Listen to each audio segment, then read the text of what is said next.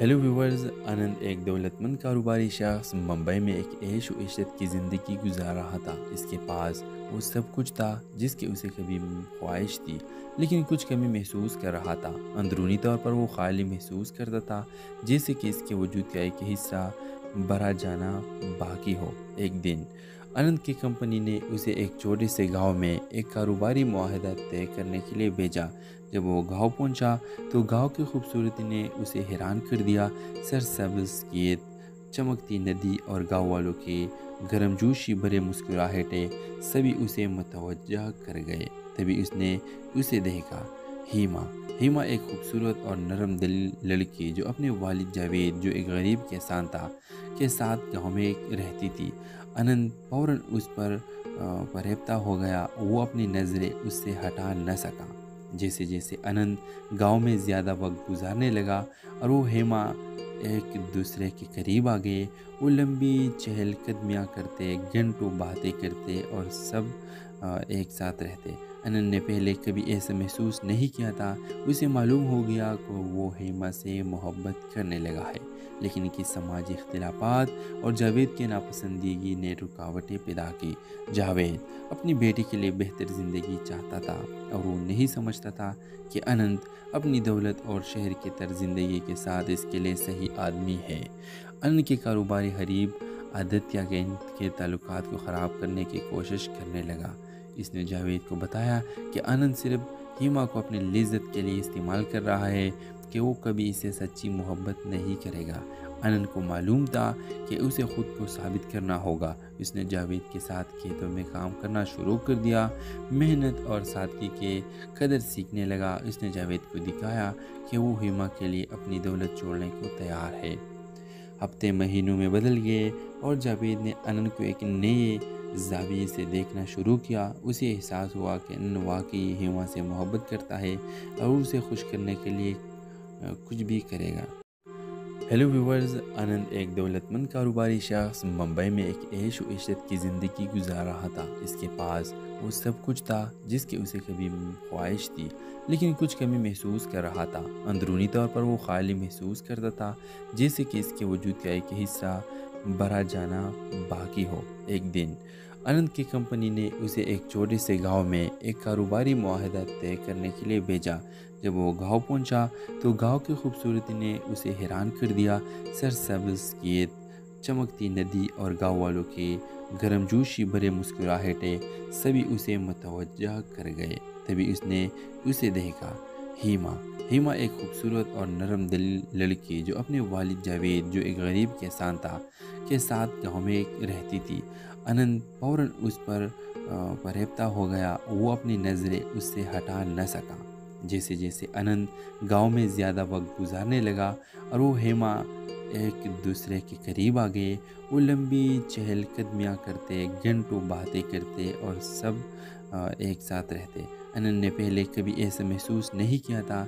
उसे मालूम हो गया कि वो हेमा से मोहब्बत करने लगा है। लेकिन कि समाजी अख्तिलाफ़ात और जावेद के नापसंदगी ने रुकावटें पैदा की। जावेद अपनी बेटी के लिए बेहतर ज़िंदगी चाहता था और वो नहीं समझता था कि अनंत अपनी दौलत और शहर के तर ज़िंदगी के साथ इसके लिए सही आदमी है। अनंत के कारोबारी हरीब आदित्य के ताल्लुक को ख़राब करने की कोशिश करने लगा। इसने जावेद को बताया कि आनंद सिर्फ़ हीमा को अपनी लिज्जत के लिए इस्तेमाल कर रहा है कि वो कभी इसे सच्ची मोहब्बत नहीं करेगा। अनंत को मालूम था कि उसे खुद को साबित करना होगा। उसने जावेद के साथ खेतों में काम करना शुरू कर दिया। मेहनत और सादगी के कदर सीखने लगा। उसने जावेद को दिखाया कि वो हिमा के लिए अपनी दौलत छोड़ने को तैयार है।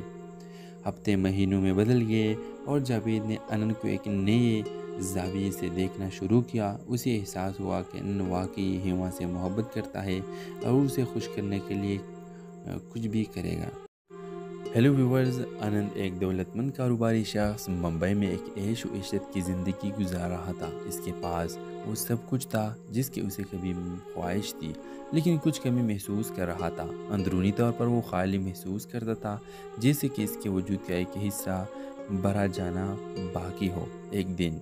अनंत की कंपनी ने उसे एक छोटे से गाँव में एक कारोबारी माहदा तय करने के लिए भेजा। जब वो गाँव पहुँचा तो गाँव की खूबसूरती ने उसे हैरान कर दिया। सरसब्ज खेत, चमकती नदी और गाँव वालों के गर्मजोशी भरे मुस्कुराहटें सभी उसे मुतवजह कर गए। तभी उसने उसे देखा। हीमा हीमा एक खूबसूरत और नरम दिल लड़की जो अपने वालिद जावेद, जो एक गरीब किसान था, के साथ गाँव में रहती थी। अनंत फ़ौरन उस पर परेबता हो गया। वो अपनी नज़रें उससे हटा न सका। जैसे जैसे अनंत गाँव में ज़्यादा वक्त गुजारने लगा और वो हेमा एक दूसरे के करीब आ गए। वो लंबी चहलकदमियाँ करते, घंटों बातें करते और सब एक साथ रहते। अनंत ने पहले कभी ऐसा महसूस नहीं किया था। उसे मालूम हो गया कि वो हेमा से मोहब्बत करने लगा है। लेकिन कि समाजी इख्तलाफात और जावेद के नापसंदीगी ने रुकावटें पैदा की। जावेद अपनी बेटी के लिए बेहतर ज़िंदगी चाहता था और वो नहीं समझता था कि अनंत अपनी दौलत और शहर की तर ज़िंदगी के साथ इसके लिए सही आदमी है। अनंत के कारोबारी हरीब आदित्य गेंद के ताल्लुक को ख़राब करने की कोशिश करने लगा। इसने जावेद को बताया कि आनंद सिर्फ़ हीमा को अपनी लिज्जत के लिए इस्तेमाल कर रहा है कि वो कभी इसे सच्ची मोहब्बत नहीं करेगा। अनंत को मालूम था कि उसे खुद को साबित करना होगा। उसने जावेद के साथ खेतों में काम करना शुरू कर दिया। मेहनत और सादगी के कदर सीखने लगा। उसने जावेद को दिखाया कि वो हिमा के लिए अपनी दौलत छोड़ने को तैयार है। हफ़्ते महीनों में बदल गए और जावेद ने अनंत को एक नए जाविये से देखना शुरू किया, उसे एहसास हुआ कि अनंत वाकई हिमा से मोहब्बत करता है और उसे खुश करने के लिए कुछ भी करेगा। हेलो व्यूवर्स आनंद एक दौलतमंद कारोबारी शख्स मुंबई में एक ऐश व इशत की ज़िंदगी गुजार रहा था। इसके पास वो सब कुछ था जिसकी उसे कभी ख्वाहिश थी, लेकिन कुछ कमी महसूस कर रहा था। अंदरूनी तौर पर वो खाली महसूस करता था, जैसे कि इसके वजूद का एक हिस्सा भरा जाना बाकी हो एक दिन। अनंत की कंपनी ने उसे एक छोटे से गाँव में एक कारोबारी माहदा तय करने के लिए भेजा।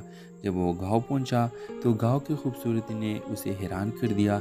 सरसब्ज खेत, चमकती नदी और गाँव वालों के गर्मजोशी भरे मुस्कुराहटें सभी उसे मुतवजह कर गए। तभी उसने उसे देखा। हीमा हीमा एक खूबसूरत और नरम दिल लड़की जो अपने वालिद जावेद, जो एक गरीब किसान था, के साथ गाँव में रहती थी। अनंत फ़ौरन उस पर परेबता हो गया। वो अपनी नज़रें उससे हटा न सका। जैसे जैसे अनंत गाँव में ज़्यादा वक्त गुजारने लगा और वो हेमा एक दूसरे के करीब आ गए, वो लंबी चहलकदमियाँ करते, घंटों बातें करते और सब एक साथ रहते। अनंत ने पहले कभी ऐसा महसूस नहीं किया था। उसे मालूम हो गया कि वो हेमा से मोहब्बत करने लगा है। लेकिन कि समाजी इख्तलाफात और जावेद के नापसंदीगी ने रुकावटें पैदा की। जावेद अपनी बेटी के लिए बेहतर ज़िंदगी चाहता था और वो नहीं समझता था कि अनंत अपनी दौलत और शहर की तर ज़िंदगी के साथ इसके लिए सही आदमी है। अनंत के कारोबारी हरीब आदित्य गेंद के ताल्लुक को ख़राब करने की कोशिश करने लगा। इसने जावेद को बताया कि आनंद सिर्फ़ हीमा को अपनी लिज्जत के लिए इस्तेमाल कर रहा है कि वो कभी इसे सच्ची मोहब्बत नहीं करेगा। अनंत को मालूम था कि उसे खुद को साबित करना होगा। इसने जावेद